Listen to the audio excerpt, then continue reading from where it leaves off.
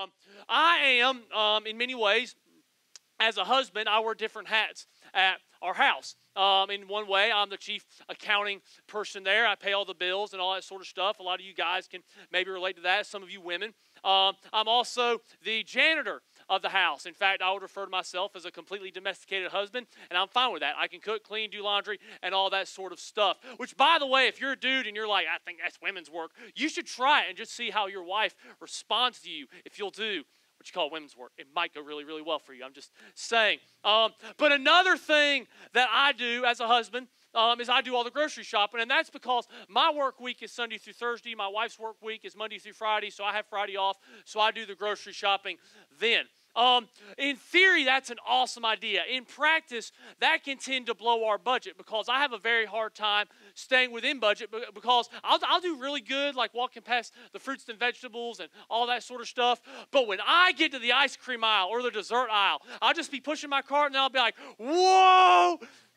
And then my eyes will fall on something beautiful. In fact, this week it was ice cream cake ice cream. And I was like, should I buy it? Yes, I'll buy it because uh, I just I just have a sweet tooth. That's like my downfall, and this will cause me to spend money that I probably shouldn't spend at times. So last year around my birthday, I was here at Walmart here in Smithfield, and I don't even remember what I was going in the store for, but it was supposed to be a quick in and out sort of thing. And so I'm walking in, I got my head down, and there's this little cooler right near the the bakery section, and my eyes caught something, and it was like the Spirit of God turned my head this way, and my eyes fell on Ultimate Red Velvet Cheesecake from the Cheesecake Factory. Now, and I haven't used a cheesecake illustration in a while, so for those of you that are are new, I love cheesecake. It's a part of my personality. It is not going away. Um, and so my eyes fell on this thing, and it was more than I wanted to spend. And I hadn't planned on spending that money in there this morning. Um, so immediately, this mental battle ensues in my mind is like, should I buy it? No, I wasn't planning on spending money, and you have a budget to stick to. And then the other side of my brain was, cheesecake is awesome, which I was like, amen, I agree with that. And then the other side of my brain was, it's also your birthday month. So I was like, dang it, I'm buying cheesecake because it's my birthday, and I can justify it. Even though it caused me to spend more money than I initially intended to that particular day. Here's the point in that we will spend more money than we will typically spend, or we'll pay a cost that is higher than we would maybe normally pay if it's something that we value. You would pay a cost for something you value, even if it's more than you would normally spend, because for some things, let's be honest, you can't put a price tag on. So, for example, how much would you pay if there was a cost to be paid for it to have every single morning when you woke up a sense of purpose? And what would you pay in order to wake up every single day with a sense of hope, even when circumstances in your life felt hopeless? What would you be willing to pay for to be able to wake up in the morning and you have joy even when there's no joy really in your circumstances? What would you be willing to pay to constantly have a sense of satisfaction and contentment even when nothing in your life feels very satisfying? And I think all of us would agree on some level that, hey, regardless of my church background, whether you've been in church all your life or you're just checking out church, and if that's you, we're glad you're here, all of us would agree on some level that if there was a cost to be paid for those particular things, we would be willing to pay that cost. Because after all, who doesn't want a constant sense of purpose? And who doesn't want hope? And who doesn't want joy? And who doesn't want peace? And who doesn't want satisfaction? And so I think all of us would say, I would pay for those things. So here's the good news in that. Those are the very things that Jesus offers when he offers you and I eternal life. See, eternal life is way more about going to heaven when you die. And by the way, let me just clear up a misconception about heaven. Heaven is not when we die, we go, we float on clouds, we're chubby, naked little babies with wings, and we play harps. That is not what you find out about heaven in the Bible. Heaven is going to be a celebration for all of eternity as we enjoy God's presence in a place where there's no more suffering, no more pain, no more shame, and constant joy and satisfaction. But that's but there's so much more to just go to heaven when you die. It's you in this this life, as soon as you become a follower of Jesus, He fills you with a sense of purpose. He fills you with a sense of joy. He fills you with hope and peace like nothing the world can ever offer. He gives you satisfaction and contentment because at the end of the day, the only way we can really truly be satisfied is to step into a relationship with Jesus. That's what Jesus is offering peace, joy, hope, purpose, satisfaction, contentment when he says, I'm offering you eternal life. It's more than just go to heaven when you die, although admittedly that's an awesome benefit. It's about life that you get to experience right here and right now in the present, not just when you die. And I believe that regardless of what you think about Jesus, you and I could agree that we would all love hope. We would all love joy. We would all love purpose and peace. We would all love the things that we get from eternal life. And so, with that in mind, I want to introduce you to a young man who was seeking eternal life here in Mark chapter 10. We start off on verse 17. As Jesus started on his way, a man ran up to him and fell on his knees before him. That'll be really important in just one second. Good teacher, he asked, what must I do to inherit eternal life? Now, the picture we give this young man is that he's desperate to know the answer to this question. And you might say, well, why is that? Because he does two things that Jewish men did not do in that day and time. He ran to Jesus and then he fell on his knees. This was considered very, very undignified. And the fact that he did those things indicated he was desperate, and he was specifically desperate to know the answer to the question he asked What must I do to inherit eternal life. In fact, the picture that really comes to my mind, this picture of I'll do anything to get this thing I'm looking for, is honestly of a guy when he's first dating a girl. And see, some of you ladies who are married, you remember the guy that your husband was when you were dating because he shaved, he actually smelled nice, he put on deodorant, he wore nice clothes, he spent money on these things called dates and gifts. Do you feel how uncomfortable it's getting in the house right now? Because some of you ladies are like, my husband hadn't done that since we were married. Which, by the way, that's another issue for another time, but shameless plug. The Sunday after Labor Day, we're starting a marriage series. So I would encourage you to mark that on your calendars. That is going to be a lot of fun. It's going to be called Man versus Wife,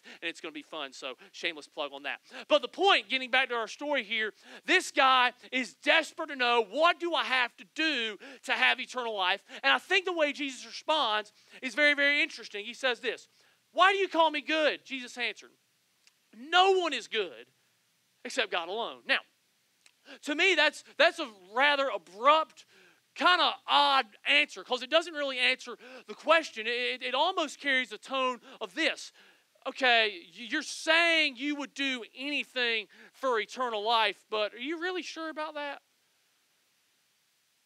Because it doesn't really answer the question. It's almost like a pushback from Jesus. And I believe the reason he pushes back on this young man, and I believe the reason he would push back on some of us who would say, I will do anything to have eternal life, to have hope, joy, peace, purpose, and satisfaction. I think he pushes back with a tone of, Will you really? Because reality is this if we're truly serious about that statement, if we're truly serious about, I will do anything to gain eternal life, I would do anything to experience joy, peace, hope, and purpose, then that's going to force us to wrestle with a very uncomfortable reality, and it's this right here. If God alone is good, and this is what Jesus just said, God alone is good, then that means by extension, we are not good. Why? Because we're not God. If God alone is good, then by definition, you are not God, I'm not God, then we are not good. Therefore, because we're not good, this isn't on the screen, but it's important to point out, since we're not good, we don't know what is good. We can't look within ourselves or examine our heart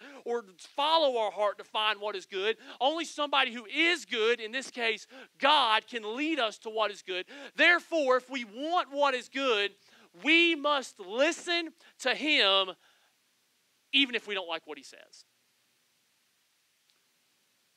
And that is what so many times will trip us up because I can promise you this, I can promise you this. The closer and closer you get to Jesus, the more and more he will tell you things that you really don't want to hear. But if you're serious about, well, I would do anything for eternal life, I want the type of hope you're talking about, I want the type of peace and purpose and joy and contentment that you're talking about, then at the end of the day, you have to have a posture of, regardless of what God says, even if I don't like it, I'm going to listen to it and I'm going to obey it. So, with that in mind, and I don't do this very often in the context of, of in the middle of a message, but I want us to just pray for a second as we kick off this series, Skeptical, and just ask that God would help us to listen to what he says to us and then actually to follow it. So let's pray real quick. Father, thank you so much for this day and the chance we have to come here together and hear from your word. God, I pray that you would make us teachable, that we would humbly accept what you say to us, even if it touches areas of our lives that we don't want, want touched and that are uncomfortable for us to wrestle with. But I pray, Lord, that you would touch those areas and you would give us the faith to obey you and the courage to obey you, even if we don't like what you've said. And we ask these things in your name, Jesus. Amen. Jesus continues the conversation in verse 19. He says this You know the commandments. You shall not murder, you shall not commit adultery, you shall not steal, you shall not give false testimony, you shall not defraud, honor your father and mother. Now, this is the second part. This is part two of what's called the Ten Commandments. And if you're not from a church background, the Ten Commandments, they made a, mo- a, movie about it, Charlton Heston in it. It was way more awesome than the other Moses movies that have come out ever since. I'm a little old school in that fashion. But the Ten Commandments are a summary of God's law to people. And part two, which is what Jesus quoted here, is God's laws as far as how people are to interact with people. And let's be honest, it's pretty easy to measure whether or not you've lived up to this part of the law. You probably don't have to wonder if you've ever murdered somebody. And if you do have to wonder about it, that's probably a, a counseling conversation where you can drop by next steps. We'll walk you through that. You don't have to wonder you don't have to wonder if you've ever cheated on your spouse. You don't have to wonder whether you've ever lied in court, unless maybe you're a politician and then the truth kind of blends in with the lies. You probably don't have to wonder about that. You don't have to wonder if you've ever defrauded somebody. You don't have to wonder if you've ever cheated your neighbor. These are things that are honestly, they're pretty easy to measure. And if I was to ask you, sitting in a coffee shop or something, how you thought you were doing on these things, you would probably respond the same way this young man does in verse 20. Teacher, he declared, all these I have kept since I was a boy.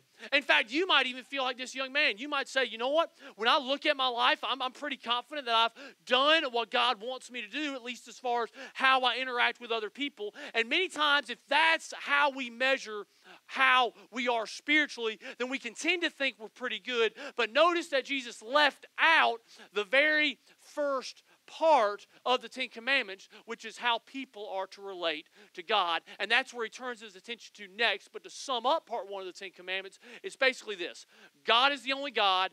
God is the only one who gets our worship, and God is in charge, and He calls the shots in your life.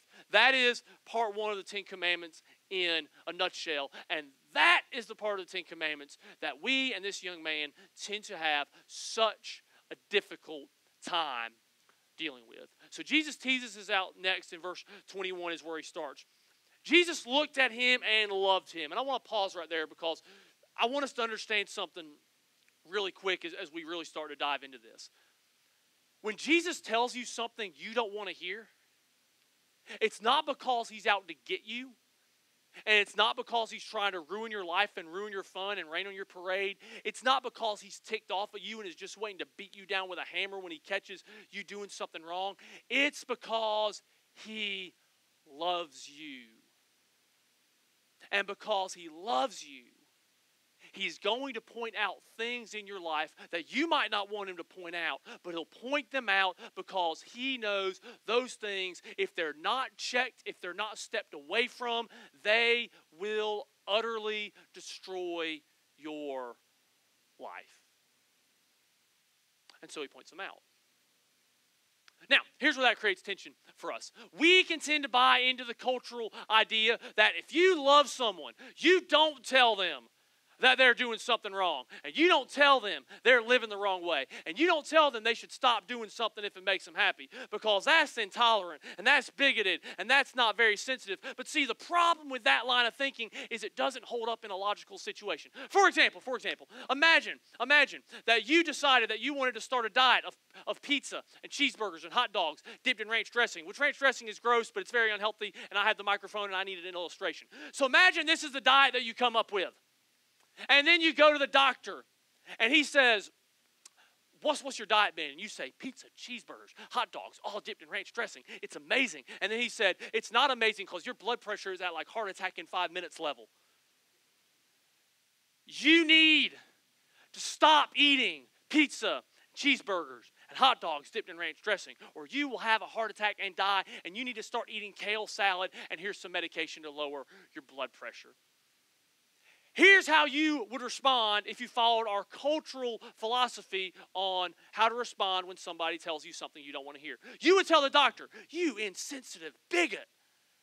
I can't believe you would tell me that I need to stop eating cheeseburgers, pizza, and hot dogs dipped in ranch dressing. It makes me happy. I enjoy it. And it's just very, very unloving for you to tell me to stop this thing that makes me so happy. Who do you think you are.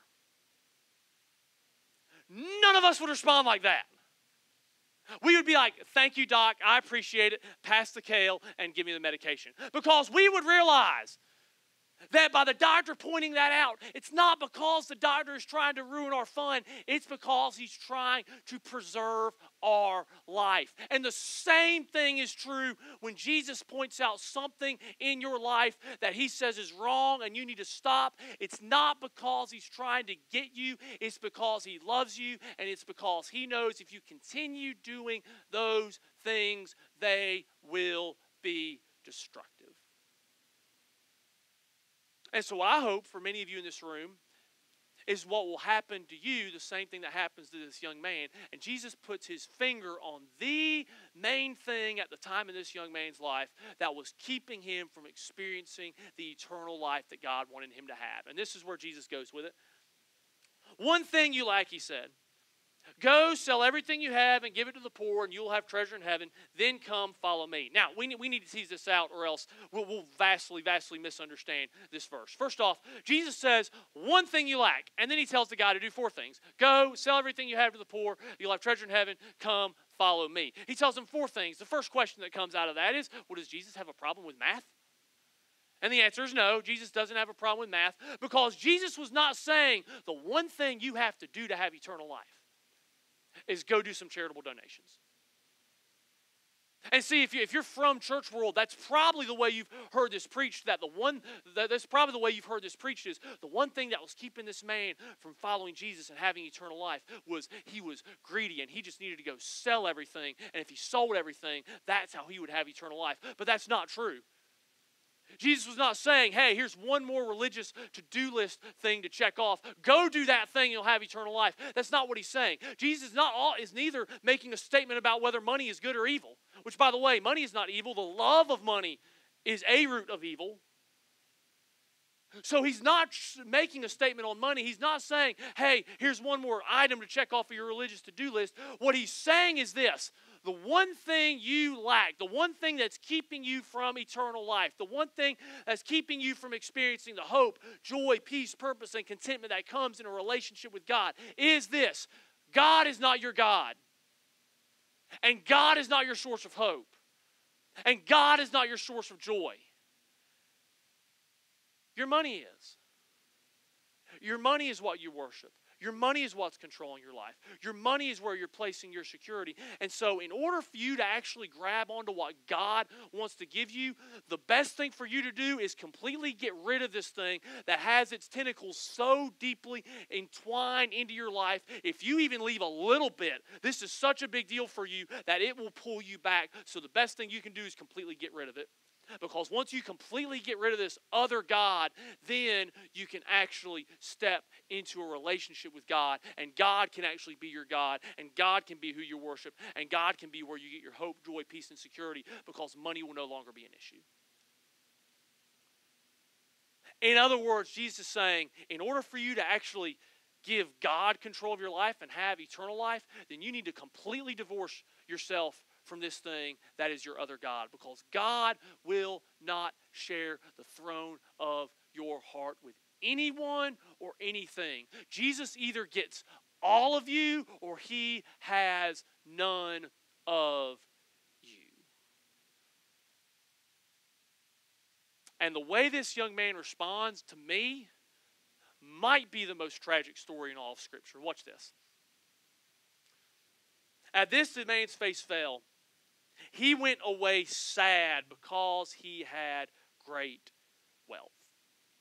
Now, that's tragic for two reasons. First off, Jesus clearly laid it out to this guy and said, Hey, you want to have eternal life? Here's, here's how you respond. Walked away. But it's also tragic because notice, Jesus let him walk away. Jesus didn't try to get him and say, okay, okay, okay, I was, I was joking, you can sell three quarters of it. No, Jesus doesn't back off of his standards. Jesus says, this is what I'm calling you to do. This is how you can respond. This is the only way. Which begs the question why did this young man walk away? I'll tell you why he walked away. Because even though he said he would do anything for eternal life, even though he looked desperate to have hope, joy, peace, and purpose and satisfaction, like maybe many of you are. And see what's really interesting about that dynamic for this young man is he was wealthy and he lived an otherwise good moral life from all appearances. And yet, the problem with this young man was deep down inside, he knew there was something missing. He knew that he didn't have something that he needed. So he went to Jesus to find out what it was. Jesus told him what it was, and then he said, Nope And I think maybe that describes some of you this morning because your life is pretty good. Your life is pretty successful. You got a good family. You got a good home. You've got uh, things tend to be good. You live a pretty good moral life, but inside you know something is lacking. And I think Jesus would say the thing that's lacking is I'm not in control of your life. And yeah, I believe every single week there are people who come here that leave saying no to what Jesus offers. And the reason they do that is for the same reason this young man walked away. They love the way they live more than they really want eternal life. Which leads me to this idea, and I hope this strikes a nerve for some of you. It's this disbelief in Jesus is more about our do's than our doubts. Disbelief in Jesus is more about our do's than our doubts. You say, what do you mean by that? I've heard people make this statement I, I, I just can't believe in Jesus. In fact, in fact, you might have some of the questions that were in uh, the video before the message. I don't know how to reconcile the Bible and science. I don't know how to how to make sense of the whole resurrection idea or the virgin birth. It all seems kind of impossible. I don't know how, how to reconcile what I hear from other people. And I don't know if I can trust the Bible. But see, here's the thing at the end of the day. It's not that you can't believe in Jesus, because here's reality. You can believe whatever you want to believe very easily. For example, and this might get touchy, but that's okay. It'll be fun. The University of North Carolina at Chapel Hill is currently under the investigation by the NCAA. Now, now, now, I'm not going to make a value judgment on this. Just, i just want to make a point. There, eh, depending on where you stand on Carolina, depends, will determine how you view this. For example, as a North Carolina State fan, or if you're a Duke fan, then as you look at all the evidence and all the information, you come to the inescapable conclusion that the University of North Carolina at Chapel Hill, aka Carolina, they are the scum of the earth and they're cheats and they should have national titles and victories stripped away from them. And it would be glorious and amazing because this is who they are as a school. That's what you believe as a State fan or a Duke fan. On the other hand, if you're a Carolina fan, like our dear Pastor Mark or Lamar here, then you look at all the evidence and all the information and you're like, well, there's nothing to see here. It's all blown out of proportion. What makes the difference there? Because you can choose to, it's, it's not a lack of information, it's not a lack of evidence, it's what you do. See, because this is what I do. I root for states, so I view the evidence one way. Mark or Lamar, they root for Carolina, so, so, so they're going to see it another way. It has nothing to do with doubts or lack of evidence or lack of information. It has everything to do with what you do, and that colors what you believe. And it is the same way with Jesus. It's not, it's not that you have a lack of information because there, there's a lot of information out there that, that looks like it backs up the claims of Jesus. It's not that there's a lack of evidence because reality is there's some incredibly smart people with alphabet soup after their name that can tell you point by point why the Bible is true, why it's trusted, why Jesus came back to life, why he's the only way, and you could not poke any holes in their argument. And, and to say otherwise that no smart people believe in Jesus is just on, it's, it's, it's intellectually dishonest. So it's not a lack of evidence and it's not a lack of information. It's it's the fact that you know you're doing certain things, you're living a certain way, and you know that if you follow Jesus, you would have to submit that to Him and let Him control that and let Him tell you what to do with that. And at the end of the day, you just don't want to do that. You know that there's things that you're doing that Jesus would call you to give up if you follow him, and you're like, I, I, nope, nope. And, and, and listen, listen, I'm not saying there's not legitimate questions, and I'm not saying there's not legitimate doubts, and I'm not saying there aren't legitimate skepticisms, but I believe if we strip all of that away, then in the majority of circumstances, disbelief in Jesus is not so much fueled by doubt, it's fueled by what we do. The bottom line is we don't simply, we simply don't want to stop doing it.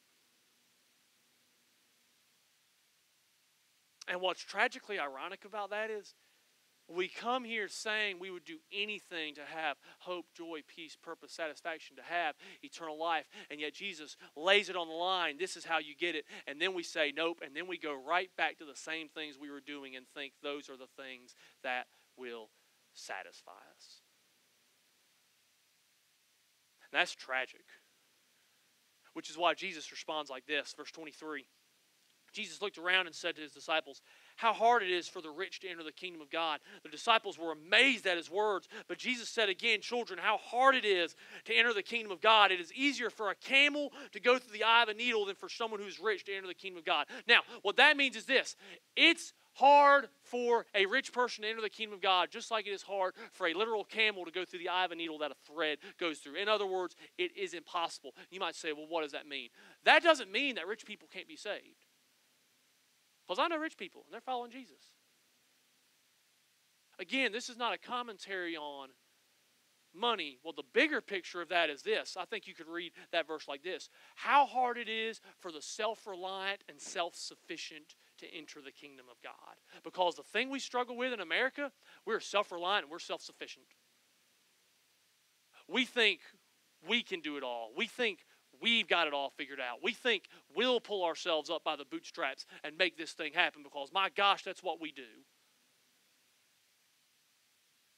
And the reason it's so difficult for the self reliant and self sufficient to be saved, to have eternal life, is because when you're self reliant and you're self sufficient, which honestly is a plague for rich people, it's a plague for a lot of American people, the problem with that is you don't see how wretched and helpless and hopeless you really are. Because reality is, I don't care how much money you have. I don't care how good of a family you have, or how many kids you have, or how many cars you have, or how big your home is, or how big your retirement account is. At the end of the day, you can't do a dang thing to save yourself. Because remember, you're not good. You can't make yourself good. You can't save yourself. You can't make yourself acceptable to God. But we tend to miss that the more self reliant and the more self sufficient we are. We tend to think, well, no, I can make it happen. And we miss how broken we are. We miss how sinful we are. We miss how hopeless we are. And because of that, we miss the fact that we need a Savior, not as like an add on to our life, but as the only way to find life. I had a conversation with a family member one time, and I think this might even uh, illuminate the minds of some of you guys here. And she said, You know what? I don't really see the need to follow Jesus because my life is pretty good. I got a good kid, I have a good husband, a good career, good house. Things are going good. But see, the thing about that is this following Jesus is not about adding a religious component to your life. And following Jesus is not about you somehow starting to get religious and kind of adding Jesus as a thing on the bookcase. No, no, no. Following Jesus is actually discovering that without Jesus, you're dead, and only in Christ do you come alive. Following Jesus is about discovering that without Christ I am hopeless. Only in Christ do I actually have hope.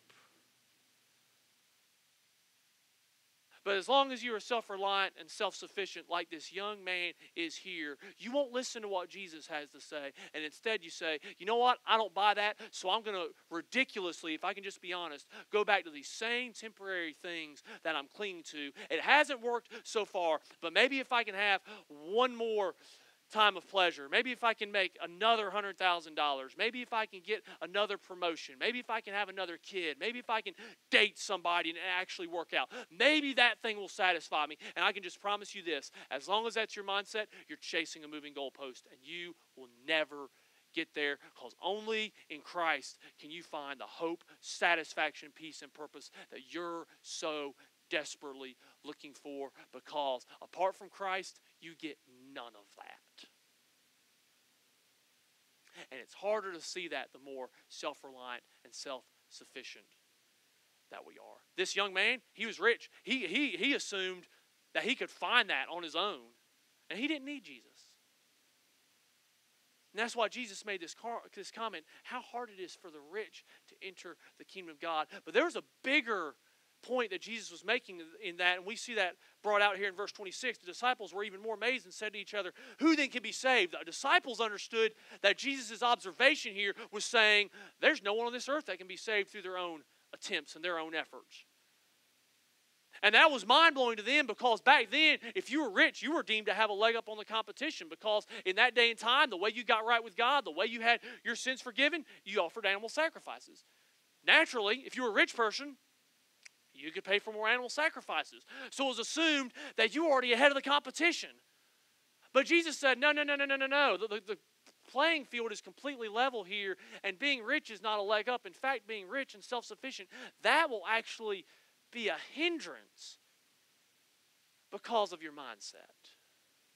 And so the disciples rightly concluded, well, then who in the world can be saved? And Jesus says this, verse 27 With man, this is impossible, but not with God. All things are possible with God. Do not miss this. The only way that you can possibly be saved, the only way you can ever have hope, joy, peace, and purpose, the only way you can go to heaven instead of hell is not by trying to get religious and trying to add something to your life and trying to pursue all these temporary things. It is only in the context of a relationship with Jesus. When you do the one thing that this young man refused to do, you give him control of your life. But that's not something you achieve. You don't achieve eternal life, you don't achieve a relationship with God. It's simply something you accept. Salvation is not a thing that you can accomplish. Salvation is just something you accept from God. But see, in order to accept it, you have to have open hands, which means you have to give up control of your life. And you have to say, okay, God, you're in charge now. You call the shots, not me. And that's what trips up a lot of Southern Christianity because so much of Southern Christianity is okay, I believe Jesus died for my sins and rose from the dead. God, get me out of hell. Y'all, that's not what it means to be saved. Being saved is not Jesus get me out of hell so I can go live however I want. Being saved is Jesus, I'm broken, I'm worthless, I'm completely messed up and sinful and helpless and hopeless without you. Jesus, because of that, save my life, take control of my life because if I control my life, I will drive my life straight to hell. It's only through giving Jesus control of your life that you actually find eternal life. But I don't want to sugarcoat it for you. It has a cost. In fact, Peter said this, one of Jesus' disciples, verse 28. Peter spoke up, We've left everything to follow you. In other words, uh, Jesus, we've kind of done the very thing that you kind of asked this young man to do. We've left everything. Um, what are we going to get out of this? In fact, I think that's the question some of you may have is what am I going to what am I really truly going to get out of that? And Jesus responds, Truly I tell you, Jesus replied, no one who has left home or brothers or sisters or mother or father or children or fields for me in the gospel will fail to receive a hundred times as much in this present age homes, brothers, sisters, mothers, children, and fields. Here's what he's saying is this when you follow Jesus, guess what? It may cost you relationships, and probably probably will. It may cost you some family ties, some family relationships. But guess what? When you step into a relationship with Christ, you get a bigger family. It's called the church. And the bonds of the church can't be broken even by death because we'll still be family in eternity. You gain something out of it, you gain something better. It'll probably cost you in terms of material things. In fact, I promise you, it will cost you. But Jesus said you'll get fields, you'll get rewards. You might say, well, what are the rewards? Here's the rewards for me lives changed the heartbeat of this church is not coming here and doing this on Sunday morning, as awesome as this is. The heartbeat of this church is we get to see people who were disconnected from church and after years reconnect to church. We get to see people who were outside of a relationship with Christ be brought here by a friend who cared about them and they step into a relationship with Christ and they get baptized and they start seeing the direction God has for their life. Lives change is about seeing people who are on a path to sin, but the Holy Spirit starts to work in them and convict them of sin, and they start to correct things in their life and get their life on track with God. Seeing lives change is about people moving from being spiritually dead to being spiritually alive, from being hopeless to actually having hope, to being without purpose to having purpose. Y'all, that's the rewards we get as followers of Christ. And that's exciting. If seeing people's lives changed does not get you excited, you're probably not following Jesus. Because there's nothing to me like seeing people move from being spiritually dead to being spiritually alive and actually finding the life that comes with Christ. But it has a cost because Jesus says this next. He says, The other thing you get is you get persecutions. Following Jesus is not easy. Following Jesus will cost you things. I can promise you that. If, if, if listen, if your version of following Jesus doesn't have a cost attached to it, you're not following Jesus. And you might say, well, then why in the world would I do that? Because that doesn't sound very, that doesn't sound like a very good decision because this is what he closes out with. He says, and in the age to come, eternal life. In other words, that thing that you want, that hope, that joy, that peace, that purpose, that satisfaction, that you want, you said, and you'd do anything for, guess what? You give me control of your life, that's what you get. It, it, it does have a cost with it. It will cost you everything. It'll cost you control of your life. But guess what? You actually get the thing that you were looking for in the first place. But it can be easy to lose sight of that, even as a follower of Christ, because verse 31, Jesus says, But many who are first will be last, and the last first. You might say, What does that mean? That means this in this life, following Jesus does not look like winning, it looks like losing. I mean, it, it doesn't look like winning to say, okay, I'm going to I'm going to follow what God commands about sexuality.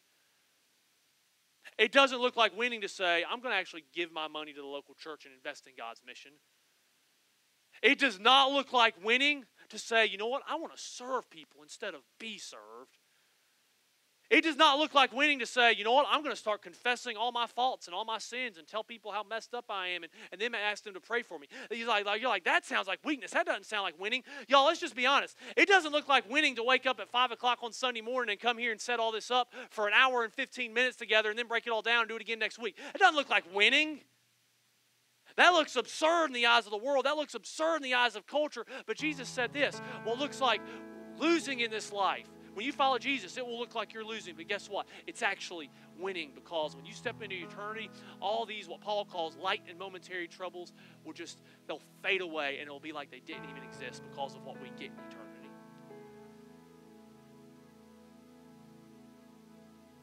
And the people who look like they're winning in this life, the self reliant, the self sufficient, the self dependent, those are the ones who actually end up losing because they based their hope on the things they could get in this life. And guess what? If that's all, that's, that's all you're hoping that you're going to get for eternity, that's all you'll get for eternity because you can't take any of it with you. So in eternity, you get nothing but hell and suffering. And Jesus doesn't want that for you. I don't want that for you. This church doesn't want that for you. We want you to have eternal life, but there's only one way to get that. You give Jesus control of your life. And the beautiful truth about that is this when you give Jesus everything, you ultimately gain everything. When you give Jesus everything, you ultimately gain everything. Jim Elliot, a missionary who gave his life taking the gospel, the good news about Jesus to Ecuador and was killed for it, said two things. One of them is really well known, and it was he is no fool who gives what he cannot keep to gain that which he cannot lose. Y'all, when you give up control of your life, guess what? You gain eternal life, and you can't lose that. But he said something else that's well, best, that's a little less well known. It's this: God always gives His best to those who leave the choice to Him. And the way you leave the choice to God is you give Him complete control of your life. You follow Him wherever He tells you to go you do whatever He tells you to do, regardless of the cost. When He says, hey, you need to correct this in your life, you listen to Him. And by the way, one of the biggest ways you can tell if you're actually a follower of Jesus, when Jesus calls you to go somewhere, you do it. You follow Him.